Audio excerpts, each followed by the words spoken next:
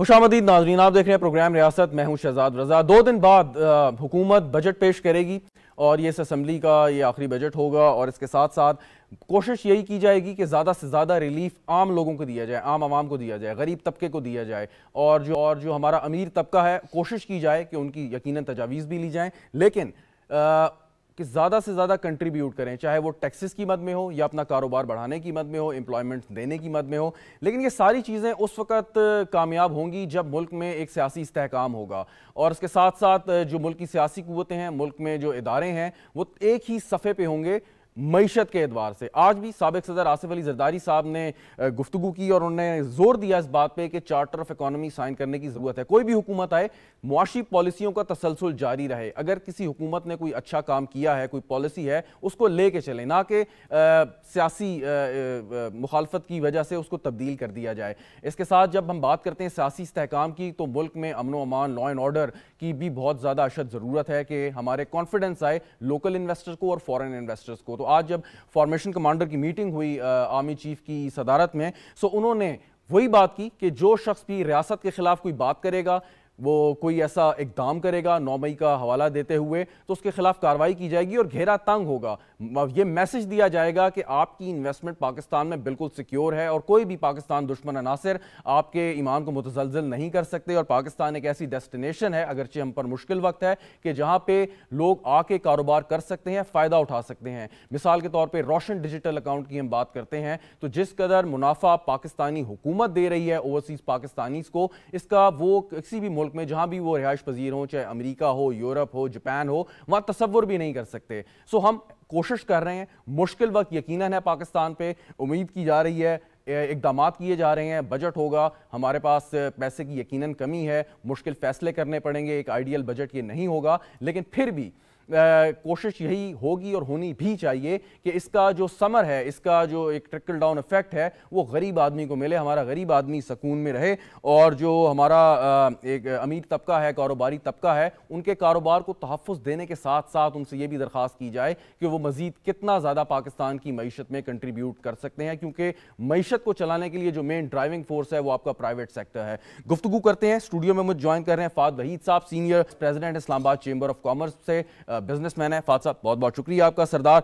यासिर इलियास साहब हमें ज्वाइन कर रहे हैं। बिजनेसमैन है, सबक प्रेसिडेंट हैं, इस्लामाबाद चेंबर ऑफ़ कॉमर्स के सर आपका भी बहुत बहुत शुक्रिया। डॉक्टर खाकान नजीब साहब मुझे वीडियो लिंक पर ज्वाइन कर रहे हैं। मारे माशियात हैं, किसी तारुफ के मोहताज नहीं डॉक्टर साहब thank you so much Tariq Yusuf साहब भी हमारे साथ मौजूद हैं, कराची कराची चेंबर ऑफ़ थोड़ी देर में हमारे हम ज्वाइन करेंगे। प्रेसिडेंट हैं कराची चेंबर ऑफ़ कॉमर्स से, उनसे भी गुफ्तु होगी गुफ्तु का आगाज़ करते हैं। फाद भाई साहब, आपसे मैं अगर शुरू करूँ और एक जनरल क्वेश्चन से कि हम सुनते आ रहे हैं साल साल से कि जी हालात ख़राब हैं, सियासी हालात ख़राब हैं, माशी हालात ख़राब हैं। तो हमें तो लगता है हम एक एज पे, किनारे पे रह रहे हैं, एक तरफ़ खाई है और उस पर हम चलते जा रहे हैं पता नहीं कब से। तो क्या कोई मुस्तबिल करीब में या बईद में ऐसा वक्त आएगा जब उस किनारे से हम पीछे हैं और कहें हम सब सुकून में स्टेबल हैं? रहीम। देखें बड़ी अच्छी बात की आपने कि हम बड़े अरसे से यही सुनते आ रहे हैं कि हम एक लिविंग ऑन दी एज वाले कॉन्सेप्ट पे चल रहे हैं where income is not actually being really generated लेकिन आपके एक्सपेंसेस बढ़ते जा रहे हैं। जैसे हमने पहले भी जब ये गुफ्तु आई आपके सामने तो वो यही थी कि एम्प्लॉयमेंट तो बढ़ नहीं रही है उस तरह ना उसकी इनकम बढ़ रही है उस तरह लेकिन खर्चे हमारे इन्फ्लेशन की वजह से बढ़ते जा रहे हैं। दूर नज़र आ रहा है कि शायद बेहतर हो जाएगा। और पाकिस्तान इस वक्त government is taking the couple of right steps जहाँ पर हम सही राइट डायरेक्शन में जा रहे हैं। लेकिन at the same time now we have to hold the horses back हमें थोड़ा सा रिलैक्स करना है। हमें ये जो पैनिक की सिचुएशन है इसको ख़त्म से इससे बाहर आ रहे हैं अब हम। इससे अब ये जो ख़ास तौर पे जो बजट की बात हुई उसमें ये कि ये बड़ा अच्छा बजट होने वाला है जो अभी hmm. फ़िलहाल नज़र आ रहा है। क्योंकि सागदार साहब जो हैं वो ही is meeting all the chambers मेरे साथ भी मुलाकात हुई इस्लामाबाद चैम्बर का वफद भी गया रावलपिंडी का चैम्बर भी था बाकी चैम्बर्स भी हैं। एसोसिएशन से भी hmm. मुलाकातें हो रही हैं। सबसे मुलाकातें करें और बड़ी खुशाइंद किस्म की वेलकमिंग डिस्कशन हो रही हैं वहाँ। नए आइडियाज़ आइडियाज़ भी जनरेट हो रहे हैं और नए डिस्कशंस भी हो रही हैं। तो लिविंग ऑन दी एज का जो कॉन्सेप्ट है वो अब कहीं ना कहीं तो उसको ब्रेक लगनी है। hmm. क्योंकि इतनी भी हमारी सेविंग्स uh, नहीं है कि हम उनको प्रोलॉन्ग करते जाएँ और हर ईयर पर ईयर उनको हम यूज़ करते जाएँ। तो I think government should have proper plan now और एक टेन ईयर पॉलिसी जब तक हम डिवाइस नहीं करेंगे क्योंकि जब जैसे ही हमारी पॉलिटिकल सिचुएशन चेंज होती है हमारी पॉलिसीज़ भी साथ साथ चेंज हो जाती तो अगर पॉलिसी स्टैगनेंट रहे और बेशक पॉलिटिशियंस चेंज होते रहे at least a businessman would have an idea कि यार मैंने इसी प्रोग्राम पे चलते रहना है। आप बिजनेसमैन हैं। और ये जो बात करते हैं चार्टर ऑफ़ इकोनॉमी या इसको आसान लफ्ज़ों में कहें कि एक अंडरस्टैंडिंग हो कि हमने इकोनॉमिक पॉलिसीज़ को जारी रखना है। वो आप क्या समझते हैं कि आपके लिए और आवाम के लिए या पाकिस्तान के लिए कितना अहम है? I think the most important thing is economy charter of economy जब मिसाक मशीत हम नहीं इकट्ठे होंगे हमारी पार्टी से इकट्ठी नहीं होंगी। हम कंटिन्यू करेंगे इसको एक बैलेंस इफ़ेक्ट बनाने right. की कि इसको लेवरेज इस्तेमाल किया जाता है जो कि नहीं होना चाहिए। देखें अगर मीशत के ऊपर पॉलिसी के ऊपर हम सब एक जगह इकट्ठे हो जाएँगे तो एटलीस्ट जो बैकबोन ऑफ़ द कंट्री है जिससे पैसे बनाने हैं देखिए कंट्री खुद पैसे नहीं कमेरती टैक्सेस बनाते हैं और टैक्सेस कौन जनरेट करता है एम्प्लॉयमेंट जनरेट करती है ट्रेडर जनरेट करता है इंडस्ट्रियलिस्ट जनरेट करता है ये कोई हरकत करता है तो टैक्स मिलता है। अब अगर वही नहीं एग्जिस्टेंस में होगा या उसको एज अ स्टेक होल्डर लिया ही नहीं जाएगा डिसीज़न में या पॉलिसीज़ में तो I don't think it's going to work now और अब ये पॉइंट आ गया है ये वो पॉइंट आ चुके हैं हम जहाँ हमारे बगैर बिज़नेस के बगैर ये इकोनॉमीज नहीं चल पाएँगी। हम्म। तो we have to be the bearing force और हमें फैसिलिटेट करें ये सारे। बिल्कुल फैसिलिटेट करें। यासर लिया साहब ये फरमाइएगा कि अगर आपकी आमदन कम हो जाए रुक जाए अखराज बहुत ज़्यादा हों तो सूरत सूरतें हैं कि आप अपने अखराज को कम कर दें आप महदूद कर दें सादगी पे चले जाएँ या आप ज़्यादा स्पेंडिंग करें और इकोनॉमी को चलाने की कोशिश करें। इसमें पब्लिक स्पेंडिंग का एक बहुत बड़ा किरदार है। आप एज अ बिजनेसमैन क्या समझते हैं? कौन सी अप्रोच आजकल के पाकिस्तानी हालात में बेहतर है? देखें आई थिंक ओवरऑल जब हम बात करते हैं चार्ट ऑफ़ इकानमी का एक बुनियाद है जो कि किसी भी गवर्नमेंट ने इस पर फोकस नहीं किया। हम ब्लेम करते हैं उनकी पॉलिसी के ऊपर। आपने एक्जैक्टली राइटली कहा कि अगर आमदनी से ज़्यादा आपके अखराज हैं तो आप क्या करेंगे? आप कम्प्लीटली रीवैम कर देंगे अपनी पॉलिसी को। जो इस साल हमारा फ़िज़िकल डेफिसिट है एक रिकॉर्ड ब्रेकिंग 6.2 ट्रिलियन पे हम पहुँच चुके हैं हम्म। जो कि 7 परसेंट है आपके जीडीपी का। और तारीख में इसके अलावा भी पास में भी ऐसा हुआ यानी नहीं कि पहली बार हम इसको एक्सीड कर रहे हैं। सो so, गवर्नमेंट के पास वो आमदनी नहीं है कि वो अपने पूरी बुक्स बैलेंस कर पाए जिसमें आपकी स्टेट ऑन एंटरप्राइज है उनकी सैलरीज हैं। आपकी आर्म फोर्सेस की सैलरीज हैं पुलिस की सैलरीज हैं, जो बेसिक इंफ्रास्ट्रक्चर है, इसमें आपने हॉस्पिटल्स पे काम करना है स्कूल्स पे काम करना है रोड्स पे काम करना है, ये एक बुनियाद राइट है। तो इससे आप देख सकते हैं कि जो गवर्नमेंट की करंट स्टेट ऑफ़ अफेयर्स हैं, इनको पूरा करने के लिए गवर्नमेंट आईएमएफ के पास जाएगी, या एशियन डेवलपमेंट बैंक से रिसेंटली हमने फाइव बिलियन के करीब लिया है। हम कर्जा लेते हैं प्रीवियस कर्जा उतारने के लिए, ये सोल्यूशन नहीं है, और ये एक साइकिल ऐसे हम निकल नहीं पा रहे। And I think this has to change तो हम अगर एक आम ताजर की बात करें, आम इंसान की बात करें, आम शहरी की बात करें, ये बर्डन उसके ऊपर डाला जा रहा है। उसके ऊपर वो अखराज डाले जा रहे हैं जिसमें उसका कोई रोल नहीं था ना उसकी कोई गलती थी। एक पॉलिसी बनाएगी और पॉलिसी की इम्प्लीकेशन और लाइबिलिटी हम पे आ रही है। हम्म। इस साल एक चीज़ और हुई है हमारे साथ जैसे ये एम्पलीफाइड इफ़ेक्ट आया है जिसमें आप देखेंगे आपका जो रुपी डी वैल्यू हुआ है आपकी जो डेट डेट सर्विसिंग कॉस्ट है वो मल्टीप्लाई हो गई नियरली बाय हंड्रेड टाइम्स तो वो जो आपका से अगर आपने नेक्स्ट ईयर अगर फोर्टी बिलियन पे बैक करना था इन टोटल लाइबिलिटीज तो आपको शायद ऑलमोस्ट सिक्सटी बिलियन प्लस पे uh, चले गए। दैट्स अ ह्यूज इम्पैक्ट वो इम्पैक्ट हमारे ऊपर आएगा। जिसकी वजह से मैं फोर्सी कर रहा हूँ कि आने वाले बजट में गवर्नमेंट मजीद हमें स्क्रूटनाइज करेगी जो एग्जिस्टिंग टैक्स पेयर्स हैं क्योंकि उन्होंने वो लाइबिलिटी सेटल करनी है वो वो डेट सेटल करनी है वो डेट कहाँ से सेटल करेंगे पैसे कहाँ से आएँगे वो हमसे लेंगे। हम्म। तो और वी रिस्पॉन्सिबल क्या ये हमारी गलती है? क्या इस मुल्क में अगर मुल्क में अगर बिज़नेस कर रहे हैं हम प्रॉफिटेबिलिटी शो कर रहे हैं तो क्या हम उसका आपको हक अदा करें? फॉर वट बल्कि दिस इज़ नॉट फेयर अगर आप कहीं दुनिया में जाकर बिज़नेस करते हैं तो क्या वो आपको स्क्रूटनाइज करते हैं कि आप प्रॉफिटेबल हैं? आपकी प्रॉफिटेबिलिटी इतनी मिनिमाइज हो जाएगी इतनी मिटिगेट वो कर देंगे कि आप कहेंगे कॉस्ट ऑफ़ डूइंग बिज़नेस उसके बेनिफिट से कहीं ज़्यादा है। हम्म। तो कॉस्ट अगर इतनी ज़्यादा हो जाएगी आप बिज़नेस नहीं कर पाएँगे। आप सब्सिक्वेंटली क्लोज करेंगे या मौजूदा इंटरेस्ट रेट जो इक्कीस परसेंट पे आप बैंक में पैसे रखे गए लेट्स स्लीप ओवर दिस इक्कीस परसेंट मुझे बैंक दे रहा है मुझे क्या ज़रूरत है काम करने की? यही मेरा सवाल था आपसे अगला जो आपने अच्छा किया इस पर इशारा कर दिया कि आप कॉस्ट ऑफ़ बिज़नेस बढ़ गई है जैसे आपने राइटली पॉइंट आउट किया और अगर डेफिनेटली उसमें बहुत सारे ओवरहेड्स हैं एम्प्लॉयमेंट है। लेकिन जब इंटरेस्ट रेट इतना ज़्यादा है और आप जैसे बिजनेसमैन ये सोच रहा है कि बजाय इसके कि मैं हज़ारों लोगों को भर्ती करूँ उनको तनख्वाहें दूँ और इतनी टेंशन लूँ तो बेहतर नहीं है कि मैं बैंक में पैसे रखे आराम से प्रॉफिट कमाऊं।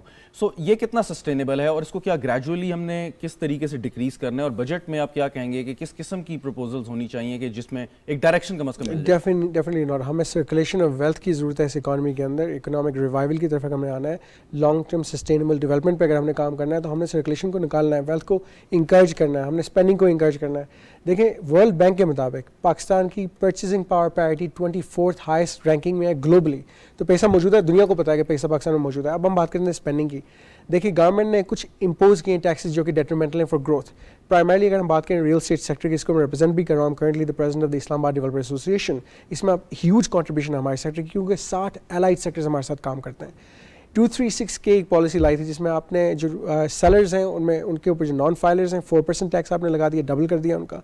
और जो बायर्स हैं उनके जो नॉन फाइलर्स हैं उन पर आपने सेवन परसेंट कर दिया तीन गुना आपने बढ़ा दिया। हम्म। तो इससे वो इंकरेजमेंट उनको नहीं मिल सकी वो लोग डिस्करेज हो गए हैं तो क्योंकि पच्चीस से तीस परसेंट मार्जिन होता है आपके पास ट्रेडिंग में। आप विदोलिंग टैक्स भी देंगे कैपिटल गेन टैक्स भी देंगे तो बचेगा कितना? खास करके जो वो तबका है जो एसोसिएट्स का है जो फ़ाइल ट्रेडिंग करते हैं सोसाइटीज़ में फाइल्स देते हैं और आगे बेचते हैं वो मार्जिन के खत्म हो गए। कैपिटल गेन टैक्स को जो टाइम पीरियड था चार साल का वो आपने इंक्रीज करके छः साल कर दिया अगेन डिस्करेज कर दिया। आप ये कहें कि चाहे एक साल में आप फ्लिप करें प्रॉपर्टीज़ को आप ट्रेडिंग करें तो आप कह रहे हैं इन स्टेप से वो सर्कुलेशन ऑफ़ वेल्थ जो वो रुक गई वापस आएगी। अगर इनकी वजह से रुक गई और अगर आप इनको खत्म करते हैं इनको रिवाइज करते हैं तो सर्कुलेशन वापस शुरू हो जाएगी। Very right very right doctor Khaqan Najeeb साहब ये जो सर्कुलेशन ऑफ़ वेल्थ की बात हो रही है या कौन आपकी इकोनॉमी को ड्राइव करता है मुझे याद है कि जब अमेरिका uh, में हाउसिंग क्राइसिस आया और पूरा का पूरा उनकी इकोनॉमी कोलैप्स करने के करीब आ गई बैंक्स बंद हो गए। सो थॉमस फ्रीडमैन का एक बड़ा इंटरेस्टिंग आर्टिकल था और उसने एक जुमला लिखा। उसने कहा कि American economy would only revive when the average American would start again would again start spending so बात वो है कि जब आपकी ये सूरत हाल हो सो इसमें किस किस्म के स्टेप्स आपने लेने हैं? पब्लिक स्पेंडिंग आप ज़्यादा कर देते हैं, अपना तरक्याती बजट आप बढ़ा देते हैं बिजनेसमैन को इन्वॉल्व करते हैं और वो साइकिल आप चलाते हैं, या बिल्कुल हाथ रोक लें। आप खर्चा ना करें कि जितना खर्चा करेंगे, उतना हमारा नुकसान होगा। डॉक्टर साहब। सो शहजाद, थॉमस फ्रीडमैन ने ज़रूर ये लिखा, आज मैंने न्यूज़ अखबार में एक आर्टिकल लिखा है, उसका पहला जो जुमला है वो है कि पाकिस्तान की जो अथॉरिटीज़ हैं, पाकिस्तान के जो पढ़े लिखे लोग हैं they need to have an honest conversation with the country honest conversation ये है कि परसों जो बजट 9 जून को प्रेजेंट होने जा रहा है, उसमें जब हम मार्कअप के पैसे दें जो मेरे ख्याल में साढ़े सात हज़ार अरब या आठ हज़ार अरब के करीब होंगे।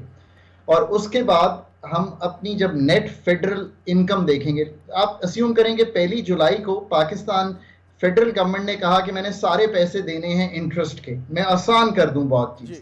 और तो उनके पास घर आए हुए पैसे मेरा ख्याल है साढ़े छह हज़ार अरब होंगे देने होंगे साढ़े सात से आठ हज़ार अरब। सो हम हज़ार अरब लगभग बोरो करेंगे और पाकिस्तान का मार्कअप देंगे अब शहजाद आपकी salary pension running of the civil government defence subsidies development expenditure this will all be borrowed from the local market and the international market and paid this is the verity of where Pakistan budget today stand अब इसमें करना क्या है? सो so, अगर आप ये देख रहे हो तो ये ऑनेस्टली लोगों को बताना पड़ेगा कि जी यहाँ पे खड़े हैं। खड़े दो वजूहत से हैं। पाकिस्तान का टैक्स टू जीडीपी रेशियो है साढ़े आठ फ़ीसद जो एफबीआर इस साल कलेक्ट करेगा। जस्ट अंडरस्टैंडिंग के लिए 2010 में भी यही रेशियो था पाकिस्तान का यानी कि एक डेकेट से ज़्यादा पहले जो टैक्स टू जीडीपी था आज भी वहीं खड़े हैं। बाकी आईएमएफ का माहा डिले हुआ सप्लाई ऑफ़ डॉलर्स टूटी, पूरी इकोनॉमी को बंद हमें करना पड़ा स्लो करना पड़ा।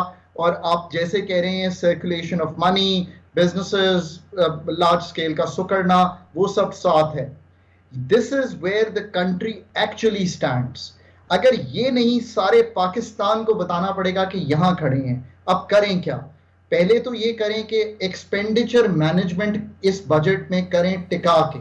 ये रियलाइज़ करें कि अगर सारा कुछ बोरोड है तो आपका सवाल यह है कि खर्च करें कि रोकें? रोकें। फ़िज़िकल डेफिसिट जैसे पहले भी दोस्त कह रहे थे बिल्कुल ठीक कह रहे हैं दो साल से आठ फ़ीसद के करीब चल रहा है। तीसरा साल होगा अगर हम रोकेंगे नहीं खर्चे तो ये साढ़े सात फ़ीसद नहीं चला लेकिन एक सवाल है डॉक्टर साहब एक सवाल है कि अगर हम अपना जो पीएसडीपी है उसको श्रिंक कर देते हैं रोक लेते हैं जैसे आपने कहा तो प्राइवेट सेक्टर में शायद इस वक्त उतनी कैपेसिटी नहीं है कि वो इकोनॉमी को बिल्कुल ड्राइव करके आगे लेके जा सकें। सो ये जो पब्लिक स्पेंडिंग है ऑन द डेवलपमेंट प्रोजेक्ट जिसमें आपने प्राइवेट सेक्टर को इन्वॉल्व करना है और उसके साथ बहुत सारी अलाइड इंडस्ट्रीज़ चलनी है एम्प्लॉयमेंट जनरेट होनी है वेल्थ जनरेट होनी है सो ये फिर तो एक बड़ी एक डाइसी सी सिचुएशन हो जाएगी। गैम्बल होगा कि आपने खेलना है या नहीं। सो the country Shahzad can not have high growth the next year ये तो एक अभी भी ऐसा साल होगा जिसमें हम डिफ़ॉल्ट के रिस्क को ड्रॉप करवा सकें अपनी थोड़ी सी ग्रोथ को पिकअप करवा सके अपने फ़िज़िकल को अगर कम करेंगे तो जो दो बोझ है ना वो आपके टूटेंगे।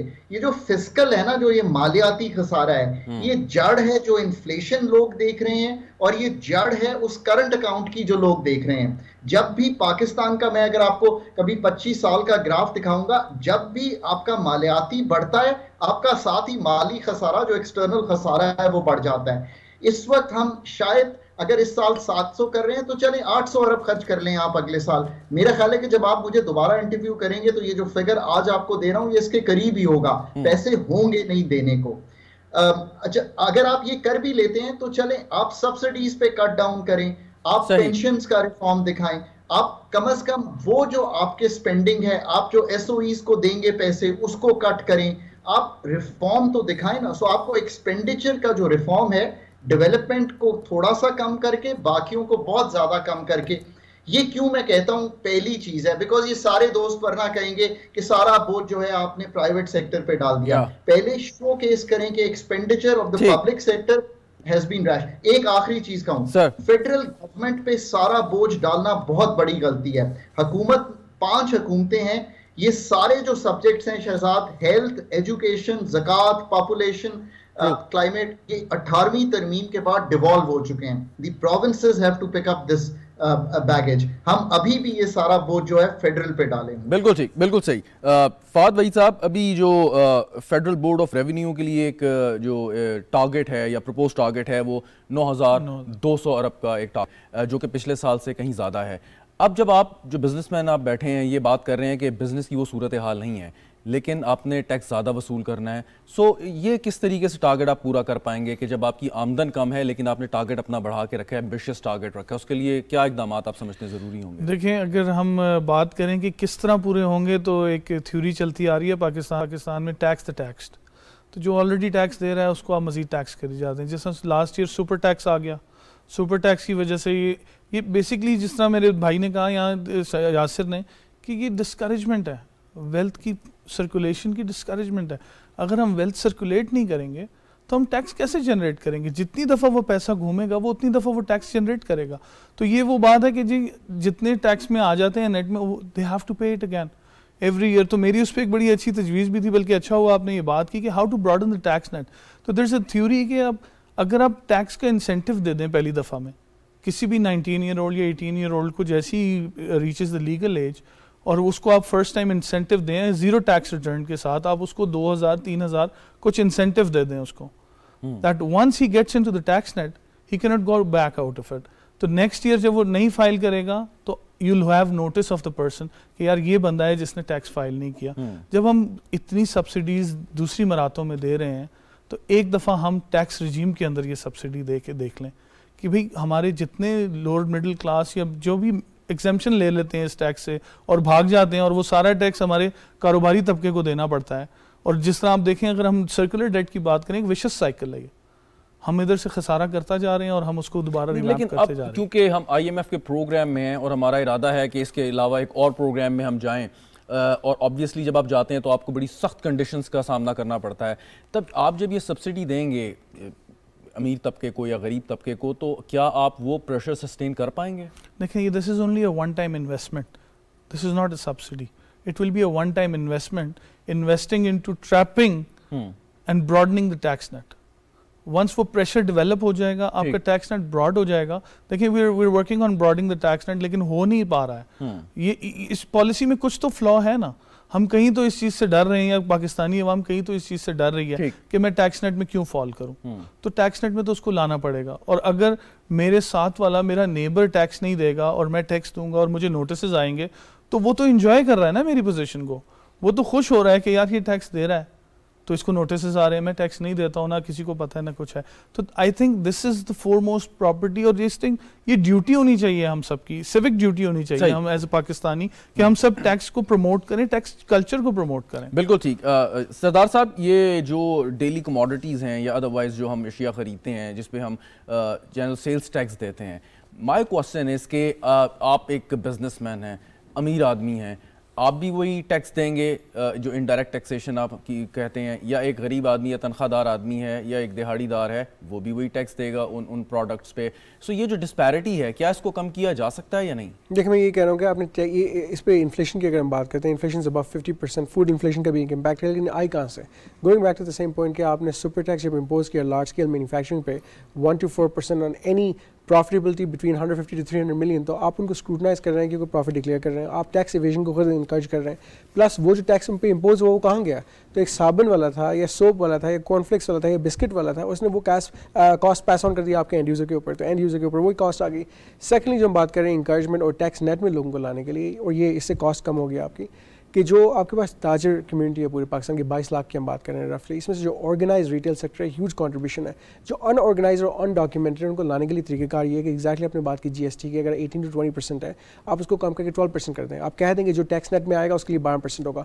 टैक्स नेट पर जो नहीं होगा, हमें मिलेगा तो उसको पच्चीस परसेंट चार्ज करेंगे। दिस शुड भी जैसे आपने नॉन फाइलर की बात की तो इंकरेज एक स्टिक इन कैरेट अप्रोच है। साथ साथ आप बात करें टर्न ओवर टैक्स की। टर्न ओवर टैक्स भी रिटेलर्स पर अप्लीकेबल है। आप उसको पॉइंट टू फाइव परसेंट कर दें।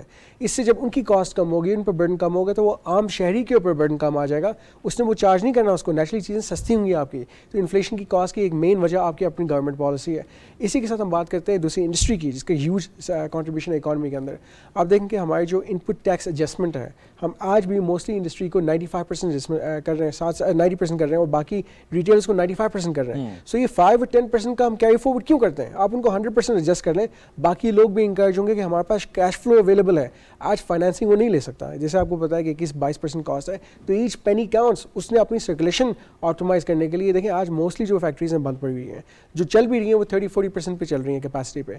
ऑप्टिमम ब्रेक इवन करने के लिए फिफ्टी परसेंट की ज़रूरत है आपको। तो दिस इज़ वर हम सेइंग कि पॉलिसी को रिवैम्प करें रिवाइज करें इसमें टैक्स नेट में भी लोग आ जाएँगे और आपकी जब कॉस्ट कम होगी तो नेचुरली उसका जो बेनिफिट है वो आम शहरी पे पास ऑन होगा चाहे वो शहरी अमीर है या गरीब है। कल प्राइम मिनिस्टर ने एक मीटिंग शेयर की जिसमें आईटी इंडस्ट्री से प्राइमरीली बात की और उन्होंने कहा कि ये फिक्स टैक्स रिजीम को हम इंट्रोड्यूस कराएँगे आईटी इंडस्ट्री के लिए। आप लोग जो कारोबार करते हैं, सर, आप समझते हैं कि ये थ्योरी या फार्मूला एप्लीकेबल हो सकता है? बाकी जगहों पे भी कि आप एक फिक्स टैक्स रिजीम बना दें, चाहे ज़्यादा टैक्स हो, लेकिन जो कॉम्प्लिकेशंस हैं या ओवरलैपिंग है, वो ख़त्म हो। देखिए fix tax is a great start इससे लोग इंकरेज भी होंगे, उनकी आई थिंक मोरल भी बूस्ट होगा। वो कहेंगे, चलो, किसी डायरेक्शन में तो हुकूमत जा रही है और something is better than nothing अगर एक जगह से आपको एक लाख रुपये आ रहा है तो एक लाख आ तो रहा है। समथिंग कुछ तो आ रहा है। उससे कुछ तो गवर्नमेंट का पहिया चलेगा। और जो एक चीज़ बहुत ज़रूरी है, जो हम टैक्स की बात करते हैं लेकिन टैक्स आपको जा कहाँ रहा है। आपकी ब्लीडिंग कहाँ पे हो रही है? लॉस हम कहाँ पे लॉस आपकी सारी जितनी स्टेट और एंटरप्राइज है चाहे वो आपकी रेलवे है स्टील है पी आई आप देख लें जितनी भी हैं हम सौ प्लस इदारों की बात कर रहे हैं। उनको या तो आप रीवैम्प कर लें या प्राइवेटाइज अगर नहीं कर सकते बिकॉज़ लाइबिलिटी इतनी ज़्यादा है उनको बंद कर दें। आई एग्री कि लोग ले ऑफ़ होंगे करवा घूटा को पीना पड़ेगा लेकिन शायद प्राइवेट सेक्टर उन लोगों को ऑब्जॉर्व कर जाए। अगर प्राइवेट सेक्टर चल रहा होगा तब आज आपकी मोस्टली इंडस्ट्री प्राइवेट सेक्टर की भी बंद पड़ी है तो अगर ये लोग ले ऑफ़ होंगे तो वो कहाँ पे जाएँगे? सो आई एग्री कि fix tax is a good start और फिक्स टैक्स ट्रेड कम्युनिटी पर भी आ सकता है ताजरों पर भी आ सकता है और वो इसमें कॉन्ट्रीब्यूट ज़रूर करेंगे। हम्म, सर एक वो पिछले हुकूमत में एक वो आया था कि जी जो छोटे करियाने की दुकान या रिटेलर्स हैं उन पर तीन हज़ार या पाँच हज़ार करें तो उसमें भी कोई हमें कॉपरेशन नज़र नहीं आया कि जो शख्स या कोई ताजर छोटे लेवल का छोटे उसमें अगर दो या तीन हज़ार रुपये भी टैक्स देने को तैयार नहीं है तो फिर आप किस तरीके से करेंगे? तो एक, एक सिविक रिस्पॉन्सिबिलिटी कभी कभार आपको कुछ चीज़ें टेक्निकली करनी पड़ती हैं। आप उसको अटैच कर लें उसके सीएनआईसी के साथ डिटेल कर लें उसके एक्साइज के साथ कर लें। There are ways there are ways उसमें बिजली के बिल के साथ अटैच कर दें। वो कहीं ना कहीं जहाँ भी जाएगा चाहे वो नादरा में जाएगा एसको के पास जाएगा चाहे वो सीडीए में जाएगा चाहे किसी भी ऑफ़िस में जाएगा उसकी वो डिटेल अटैच होंगे कि आपके ऊपर ये आउटस्टैंडिंग अमाउंट है। जैसे दुनिया में आप जाते हैं आपके नाम पर एक फ़ाइन होता है। उस फाइन पे मिडल ईस्ट में मैं आपको बताऊँ कि एक टाइम था सऊदिया में आप लीव नहीं कर सकते थे मुल्क को जब तक आप अपना फाइन नहीं पे ऑफ़ करते। हम्म। उनका सिस्टम सारा सेंट्रलाइज था। तो हमारे पास भी नादरा कार्ड कार्ड्स हैं चिप सिस्टम लगा हुआ है बैंक के पास आई डिटेल्स हैं सारे सिस्टम सेंट्रलाइज कर लें आपकी जितनी लाइबिलिटीज हैं ऑफसेट हो जाएँगे। वेरी राइट डॉक्टर साहब एक वक्फा लेता हूँ वक्फे के बाद आपकी जाने में आता हूँ। नाजरीन ब्रेक लेते हैं। ब्रेक के बाद हमारी गुफ्तु जारी रहेगी साथ रहिएगा।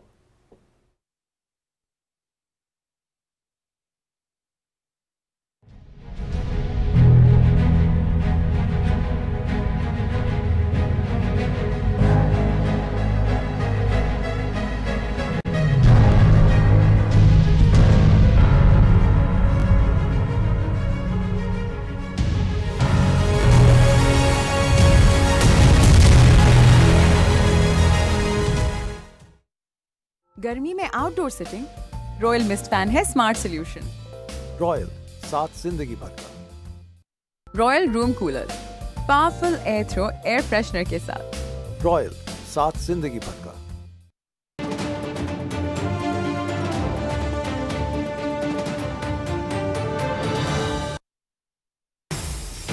Welcome to star and style season three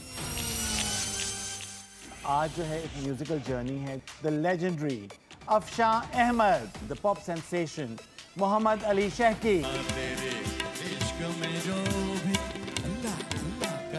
जो बच्चों का प्रोग्राम सोहेल राना साथ किया करते थे। योडल करता था योडल मेरी ओनरशिप थी उसमें ना।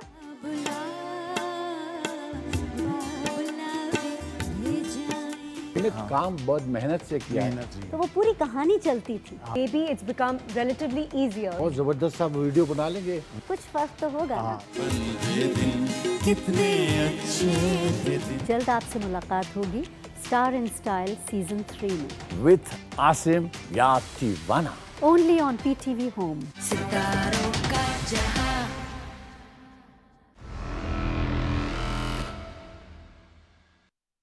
permanent magnet motor से 50 परसेंट बिजली बचेगी। बदले हवा के रंग रॉयल फैंस के संग।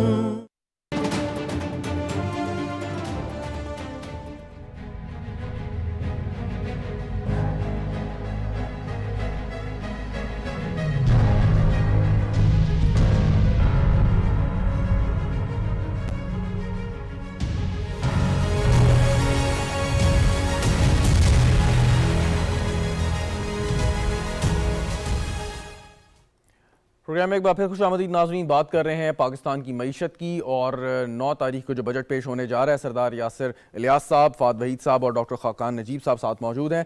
डॉक्टर साहब, अभी ये बात हो रही थी कि अपने जो गैर ज़रूरी अखराज हैं या जो हमारे ऊपर बोझ बने हुए बने हुए हैं कुछ ऐसे इदारे, उनको हमसे ज़रा जान छुड़ाई जाए। तो अभी रिसेंटली सुप्रीम कोर्ट के सामने एक पटिशन थी जिसमें के इलेक्ट्रिक की प्राइवेटाइजेशन की बात हो रही थी। सुप्रीम कोर्ट ने बड़ा अच्छा इस पर फैसला किया कि जी, हम मुआशी मामला में नहीं पढ़ना चाहते। माजी में, आपको याद होगा, स्टील मिल की प्राइवेटाइजेशन को जैसे रोक दिया गया था। अब जो रूजवेल्ट होटल है आ, हमारा आ, अमेरिका में उसको भी लीज पे हमने दे दिया आई बिलीव के two two hundred and twenty million dollars पे। सो यू थिंक के ये स्टेप्स अब जो हैं वो बहुत ज़रूरी बल्कि नागुजीर हो गए हैं कि इनके साथ हम ज़्यादा नहीं चल सकते। डॉक्टर साहब। एब्सोल्युटली 212 आपके पास एंटिटीज हैं उसमें 175 तो प्योरली कमर्शियल हैं। uh, मेरा ख्याल है पीआईए का पिछले साल का जो लॉस है वो 80 नब्बे अरब रुपए का है।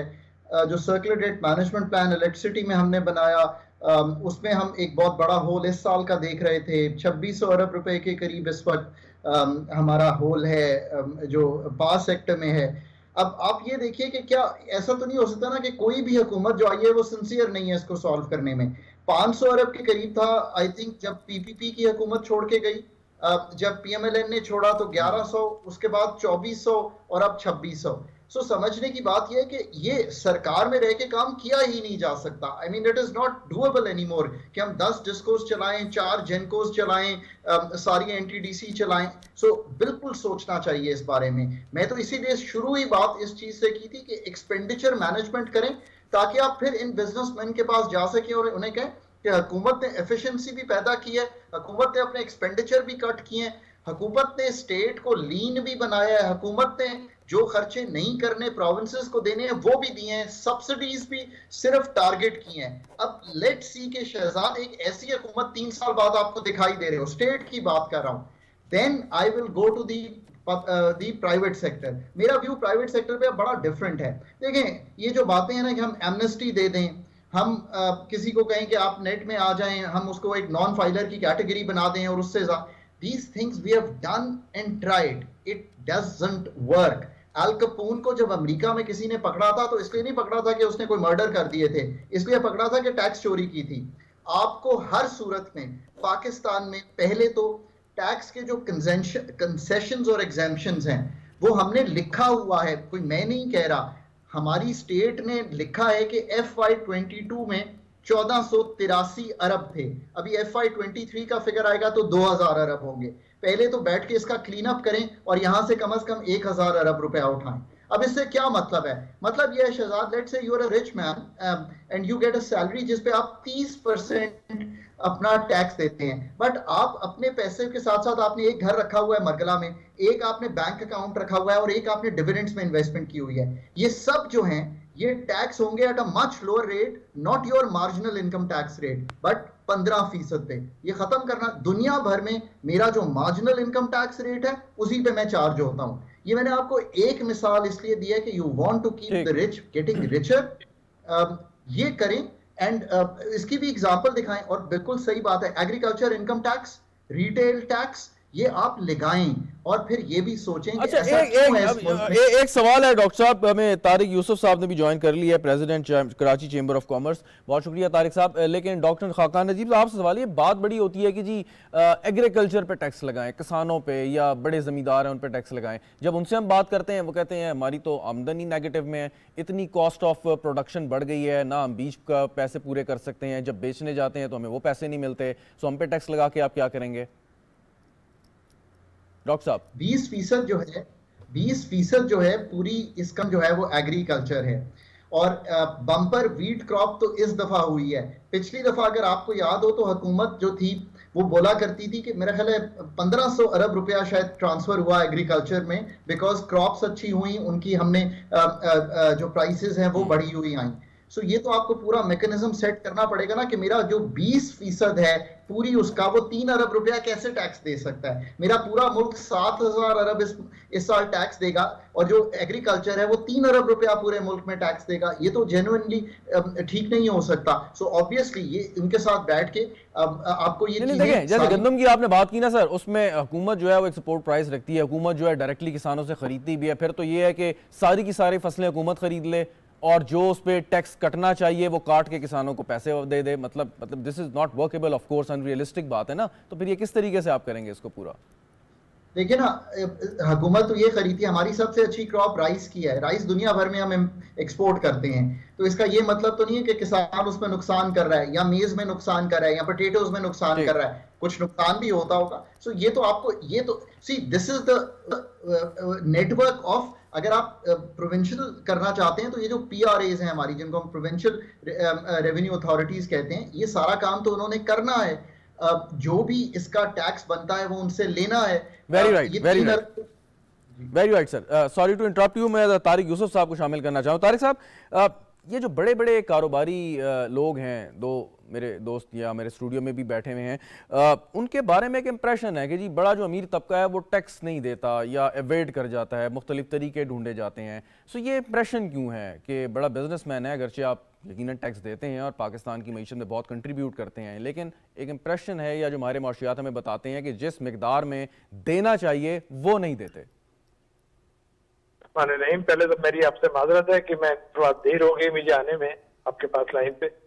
आ, बात यह है कि ये बात आपके इनमें लाना चाहता हूँ कि इस मुल्क का नब्बे फ़ीसद टैक्स सिर्फ़ तीन फ़ीसद लोग देते हैं। Virtually nobody pays tax in other words आप समझ। ज़रूरत इस बात की है कि हमें इस मुल्क से जो टैक्स कलेक्शन सिस्टम का उसको दूर करने की ज़रूरत है। और मैंने इसाकदार साहब के साथ परसों जो हमारी मीटिंग हुई है, वहाँ भी मैंने यही कहा कि इस वक्त तो बजट प्रपोजल चल रहे हैं, लेकिन ज़रूरत इस बात की है कि हम एक थिंक टैंक फॉर्म करें, जिसमें तमाम स्टेक होल्डर्स को सामने लेके कोई टैक्स फ्रेंडली एनवायरमेंट बनाने की ज़रूरत है। उसी में इस मुल्क का टैक्स कल्चर डेवलप होगा कि हर आदमी जो है वो खुशी के साथ टैक्स मैक्स में आए, जो उसका हिस्सा है वो पे करे और उसमें उसे किसी किस्म की खौफ एप्रीहेंशन नोटिस ऑडिट और इस किस्म के फियर ना हो। ये हमारे हमारे यहाँ आम आदमी जो है वो डॉक्यूमेंटेशन से घबराता है और डरता है। मैं तो लफ्ज इस्तेमाल करूँगा। वो डरता है डॉक्यूमेंटेशन के नाम से। हम्म। हमें एक लॉन्ग टर्म पॉलिसी पे तवज्जो करनी पड़ेगी कि जो टैक्स नेट है उसको किस तरह एक्सपेंड किया जाए। हर आदमी टैक्स नेट में आए। एक तो एक सर इसमें लेकिन एक सवाल है। एक तो आपने कहा ना कि तीन परसेंट टैक्स देते हैं तो एक तो वो सतानवे फ़ीसद कौन है जो नहीं देते? दूसरी बात कि लोग ये कहते हैं कि जी ठीक है हम अगर टैक्स दे रहे हैं तो इसके बदले में रियासत हमें क्या रिटर्न क्या कर रही है हमें क्या मिल रहा है? तो अगर हमें कुछ मिल नहीं रहा तो हम टैक्स क्यों नहीं ये एक एक, एक साइकी है। सो so, और वो पासिंग द बक्स वाली बात है। सो so, एक तो हमारी नेशनल ऑब्लिगेशन है कि हम टैक्स दें हमारी मीशत जो है मज़बूत नहीं है। दूसरी ज़िम्मेदारी आप समझते हैं हुकूमत या रियासत की है कि वो बदले में आपको क्या दे रही है कि आप टैक्स अदा कर रहे हैं टाइम पे। मेरा ख्याल है कि अगर कोई आदमी कहता है कि सरकार मुझे कुछ नहीं दे रही तो वो शायद इज़ डिनाइंग द रियलिटी एक एक मुल्क है कि निज़ाम है जो चल रहा है वो हमारे पैसों से टैक्स के पैसों से ही चल रहा है। हाउ कैन यू से कि जी इस मुल्क में कोई निज़ाम ही नहीं है ना सड़कें हैं ना ब्रिज है ना पुलिस है ना कुछ है ना कुछ है। ये तो ये तो गैर ये ना बिल्कुल ना फहम मानी हुई बात है। हमारे यहाँ एक सिस्टम है उसके अंदर कमजोरियाँ हैं। हमें उसको एडमिट करना चाहिए और उसको रेक्टिफाई करना चाहिए। हमारे यहाँ ब्रिजेस भी बनते हैं लेकिन उसकी समटाइम्स वो ऐसा होता है जो लाइफ होती है वो दस परसेंट में वो ढीले हो जाते हैं।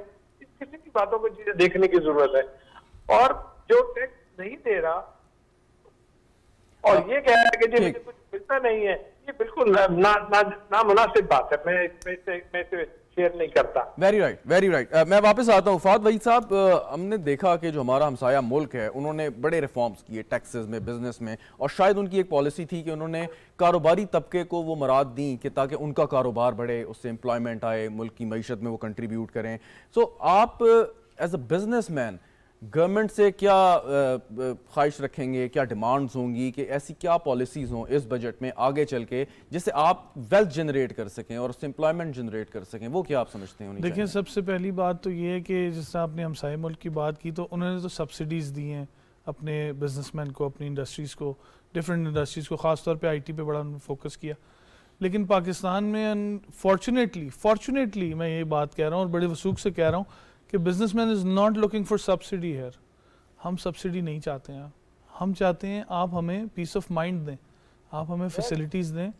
हम क्रिएट करेंगे एम्प्लॉयमेंट हम लाएँगे पैसा बाहर से भी अंदर से भी। ये हमारी ड्यूटी है।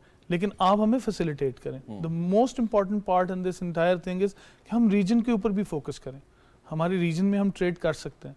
हम उस रीजनल ट्रेड को प्रमोट करें। That's the best thing we can do और सेकेंडली जो सबसे इंपॉर्टेंट चीज़ है वी नीड स्ट्रक्चरल रिफॉर्म्स जो यहाँ पर बात हो रही है ना ये देखें सबसे इंपॉर्टेंट चीज़ है कि हम स्ट्रक्चरली हम डिज़ाइन हो चुके हैं कि हम उसी ट्रैप में बार बार घूमते जा रहे हैं। हम्म। तो एक तो ये बड़ी इंपॉर्टेंट चीज़ है। सेकेंडली जिस तरह बात हुई खाकान साहब ने जो बात की कि लोग यहाँ पर इस चीज़ को एडमिट ही नहीं करते कि देर इज़ अ सिस्टम आप एक इकोनॉमी में रह रहे हैं आप ज़मीन पर हैं आपको कोई तंग नहीं कर रहा आप गुलामी की ज़िंदगी नहीं हम्म, गुजार रहे हैं हम्म। एक निज़ाम है आपकी प्रोटेक्शन है यू हैव एवरीथिंग अवेलेबल ये गिव एंड टेक तो नहीं है this is a national obligation this is by law you are you have to be a tax payer citizen ये हमें रियलाइज़ करना है। हम्म। और जिस तरह हमारे भाई ने कराची चैम्बर से भी कहा it's rightly said we need a think tank बिल्कुल ठीक हमें सिट डाउन होना है हमें हमें एक दूसरे से मशवरा करना है और थिंक टैंक आपके हमें उसको बेहतर करना है हमें अपनी आवाम को ये समझाना है कि टैक्स देना कोई बुराई नहीं है ये तो अच्छाई है हम्म। बल्कि इधर तो I remember there was a time when there was a top 100 tax payer list जो शाया होती थी हम्म। और प्राइम मिनिस्टर साहब उन सबसे मिलते थे। I think that should be that should be promoting the culture कि यार मैंने इस बार टैक्स ज़्यादा दिया मैंने इस बार टैक्स ज़्यादा दिया। हम्म। तो that should be the kind of recognise करना चाहिए। रिकॉग्नाइज करना चाहिए। बिल्कुल। सरदार साहब फॉरेन डायरेक्ट इन्वेस्टमेंट हमारी शायद रॉक बॉटम हिट कर रही है इस वक्त। वो क्या लवाजमात हैं? आसपास के ममालिक में हम देखते हैं तो वहाँ है बिल्कुल यकीनन है बड़ी बड़ी कंपनीज़ आ रही हैं। वो क्या चीज़ें हैं? सिक्योरिटी वन एक्सपेक्ट, लेकिन हमने बहुत हद तक उस पर काबू पाया जो लॉ एंड ऑर्डर का था। आप क्या समझते हैं? क्या होना चाहिए कि फॉरन डायरेक्ट इन्वेस्टमेंट भी यहाँ पे आए? देखिए, हमें स्टेबिलिटी चाहिए, हमें कंसिस्टेंसी और कंटिन्यूटी चाहिए पॉलिसीज़ आपका जो करंट मॉडल है इट इज़ वेरी इंडिविजुअलाइज ये इंस्टीट्यूशनलाइज होना चाहिए कि डज नॉट मैटर कि कौन बैठा हुआ कुर्सी पे फ़ंक्शन सबका सेम होगा. पर्पस हम्म। सबका सेम होगा पॉलिसी सबकी सेम होगी. खास करके जो आपकी डिवेल्यूशन हो रही है रुपये की, आज अगर एक बंदा ओवरसीज से रेमिटेंस भेज रहा है, वो शायद एक महीना और वेट करेगा। वो कहेगा, शायद मजीद डिवेल्यूशन हो, शायद मुझे दो दो रुपये पचास पे, पैसे, दस रुपये फ़ायदा हो जाएगा। ये एक जनरल साइकी मैं आपको बता रहा हूँ। प्लस इंस्टेबिलिटी की वजह से आज इससे बेहतर बाइंग अपॉर्चुनिटीज़ बाहर मौजूद हैं। जैसे मैंने आपको बताया कि रियल स्टेट का पूरा पहिया रुक चुका है तो लोग ऑल्टरनेटिव दुबई में पैसे लगा रहे हैं। कई बिलियन डॉलर्स पाकिस्तान से जा चुके हैं बाहर, और मजीद मैं समझ रहा हूँ कि फ़्लाइट ऑफ़ कैपिटल होगा बिकॉज़ ऑफ़ द अनसर्टनिटीज़ साथ वन विंडो का एसेंस यहाँ पे नहीं है। अगर मैं जाके डील करता हूँ एक पर्टिकुलर डिपार्टमेंट से उस डिपार्टमेंट से मुझे आगे दस और डिपार्टमेंट्स में जाना पड़ता है कि बिजली के लिए फलाने के पास जाऊँ ट्रांसफार्मर के पास इसके पास जाओ वेस्ट मैनेजमेंट के लिए इसके पास जाओ इन्वायरमेंट के लिए इसके पास जाओ इतना टाइम किसी के पास नहीं है। बाहर ममालिक में एक वन विंडो का सिस्टम है एक एसेंस है आपको पता है कि आप जाते हैं एक इन्वेस्टर के पास लिमिटेड टाइम है। एक चीज़ वो बहुत ज़रूरी है जो हम बात करते हैं लेकिन tax to G D P ratio सिर्फ़ पाकिस्तान का नाइन परसेंट नहीं है और भी बहुत सारे ममालिक का है लेकिन उन ममालिक की एक्सपोर्ट्स हमसे कहीं ज़्यादा है उन ममालिक की रिज़र्व हमसे कहीं ज़्यादा है। क्योंकि अगर एक जगह पर वो भी टैक्स नहीं दे रहे उनकी जो आवाम है लेकिन साथ साथ मुल्क तरक्की भी कर रहा है फ्लोरिश भी कर रहा है उनकी इकॉनमी फ्लोरिश कर रही है उनके जीडीपी हमसे कहीं ज़्यादा है। मतलब आपको टर्की की एग्ज़ाम्पल ले लें कि 800 बिलियन की हम बात कर रहे हैं जो उनके कलेक्टिव एक्सपोर्ट्स है। हमारे जी है जो हमारा तो हम 300 बिलियन साढ़े तीन बिलियन पे स्ट्रगल कर रहे हैं। एक्सपोर्ट्स हमसे बांग्लादेश कहीं ज़्यादा कर चुका है। मतलब देव नियरली टचिंग ना फिफ्टी बिलियन हम अभी भी पच्चीस सताईस बिलियन में खेल रहे हैं मज़ाक है उनकी आबादी भी हमसे कम है रकबा भी हमसे कम है। ब्लू वाटर इकॉनमी एक फिनोमिना है हमारे पास 900 किलोमीटर की कोस्ट लाइन है।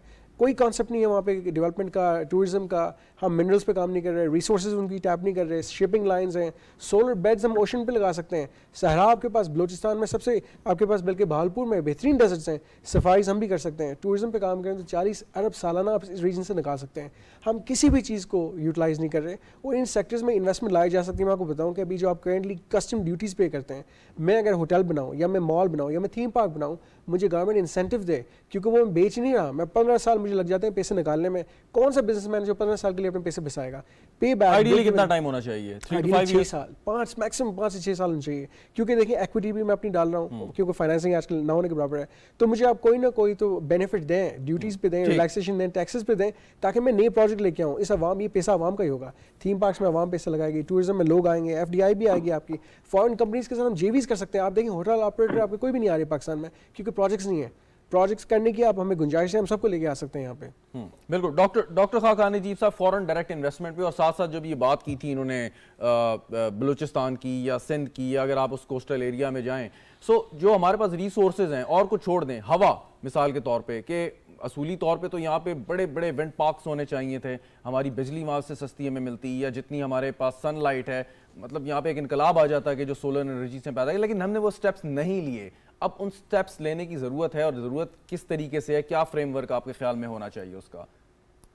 सो कोस्ट लाइन भी अच्छी है। आपके पास बलोचिस्तान में बहुत ज़खायर भी मौजूद हैं कॉपर के हैं गोल्ड के हैं सो मिनरल डेवलपमेंट का भी चांस है। आपके पास एक यंग जनरेशन है जो 23 मीडियन एज है इंग्लिश स्पीकिंग है। हम्म। आपके पास बिजनेसमैन को तजर्बा भी है। ऐसा नहीं है कि बिल्कुल कभी डील ही नहीं किया। टेक्सटाइल की एक सनत डेवलप भी है कुछ कार इंडस्ट्री भी है कुछ ऑटो ये इलेक्ट्रॉनिक इंडस्ट्री भी है। सियालकोट में यू नो आई मीन आप दुनिया भर की मेरा ख्याल है पचास साठ फ़ीसद फुटबॉल बेचते हैं।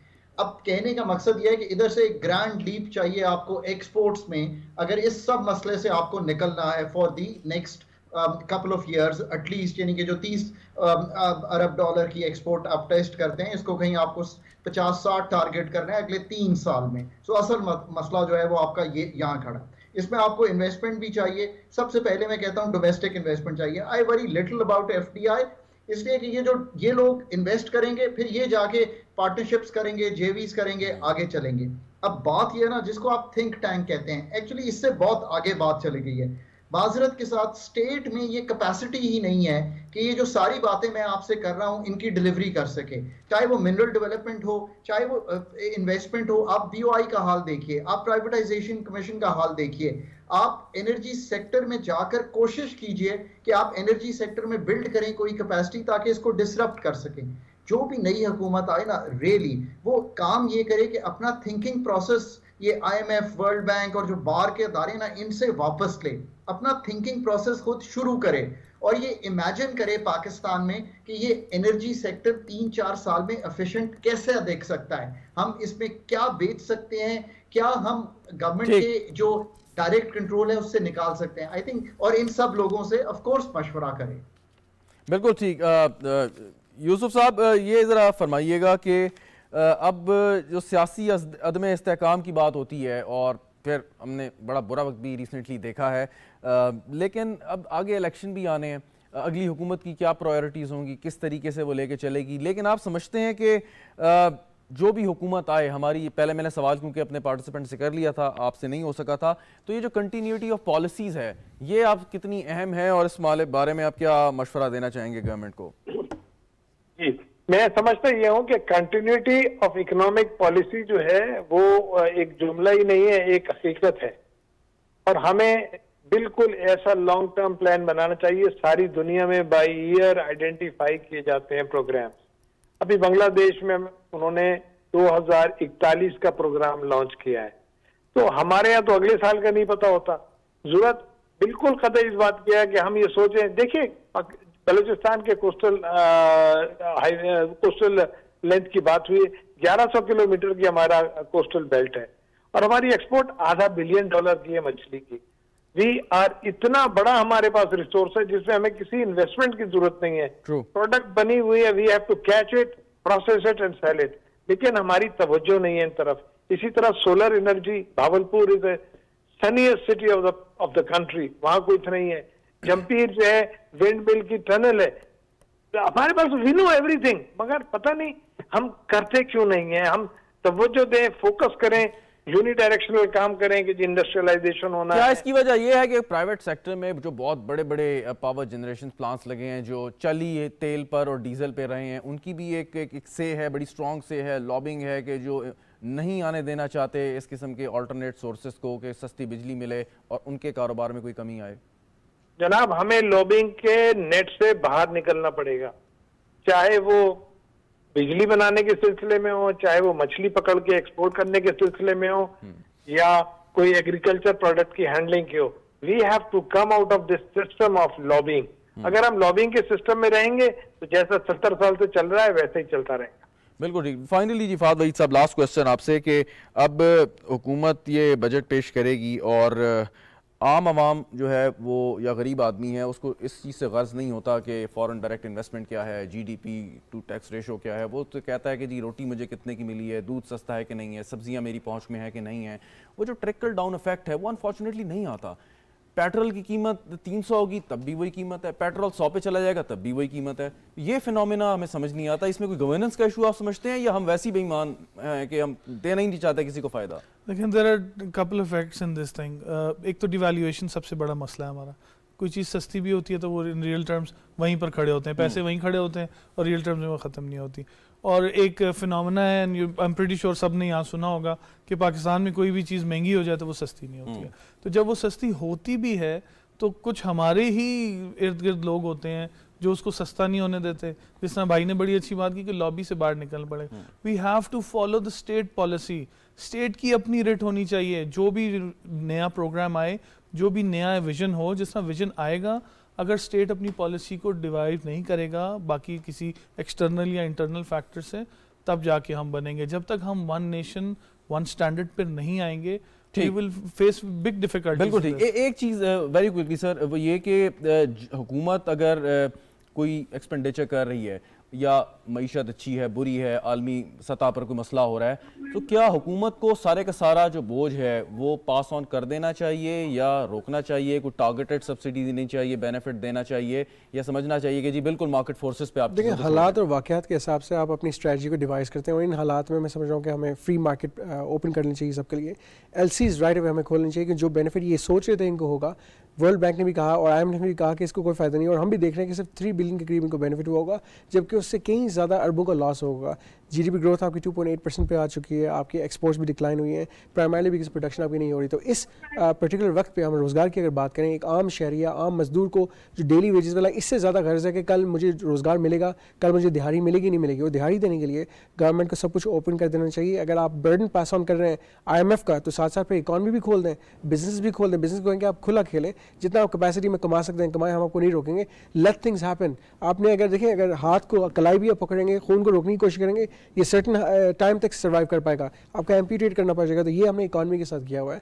We have to work on chart of economy economic revival के लिए लॉन्ग टर्म सस्टेनेबिलिटी के लिए हमें मशावरत करनी चाहिए। पूरी पाकिस्तान की बिज़नेस कम्युनिटी आज यही कह रही है कि एल खोलें लेट बिज़नेस ओपन जो आप सुपर टैक्सेस इम्पोज करें ना करें हमारे ऊपर। बिल्कुल ठीक। बहुत बहुत शुक्रिया फाद वहीद साहब हमारे साथ मौजूद थे सरदार यासिर इलियास साहब आपका भी शुक्रिया। डॉक्टर खाकान नजीब साहब तारिक यूसुफ साहब आप दोनों हजरात का भी बहुत बहुत शुक्रिया। गुफ्तु आपने सुनी प्रोग्राम देखने का शुक्रिया। इजाज़त दीजिए खुदा हाफिज़।